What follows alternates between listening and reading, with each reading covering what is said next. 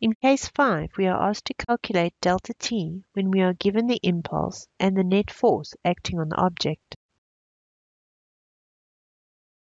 A vase falls from a table onto a carpeted floor.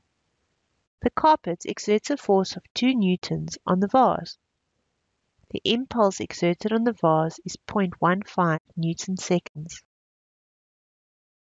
How long does the carpet exert a force on the vase?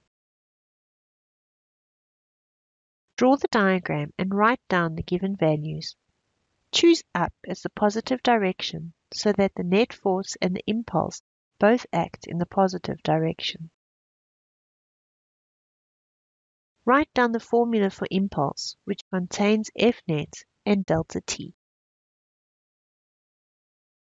Substitute the values. And solve for delta T.